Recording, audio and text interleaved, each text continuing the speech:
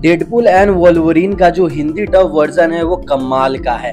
Hilarious dialogue लिखे गए हैं और जो डबल मीनिंग है और जो भी कुछ पंचेज हैं, वो आपको हंसने पे मजबूर कर देंगे और कहानी भी मज़ेदार है, जो सभी को पसंद आई।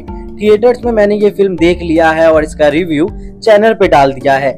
लेकिन अब थिएटर की बात तो हो गई, लेकिन ओ पर सभी को इंतज़ार है इसका, क्योंकि बहुत से लोग थिएटर नहीं जा पा रहे हैं, नहीं जा पाएँगे। और ओटीटी पर देखने के लिए बहुत ज़्यादा एक्साइटेड है।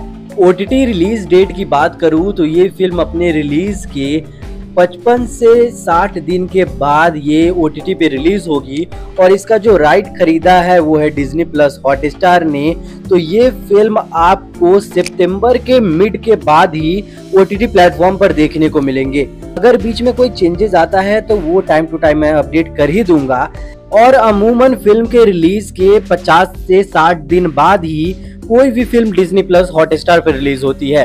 तो ये फ़िल्म भी सितंबर के मिड के बाद ही आपको ओ टी प्लेटफॉर्म पर देखने को मिल जाएगा। मुझे तो ये फ़िल्म बहुत बढ़िया लगी, अगर आपने ये फ़िल्म थिएटर में देख ली है तो कमेंट बॉक्स में बताइए कि आपको ये फ़िल्म कैसी लगी और ओटीटी पर देखने के लिए कितने ज़्यादा एक्साइटेड है ये फ़िल्म, ये भी बताएँ।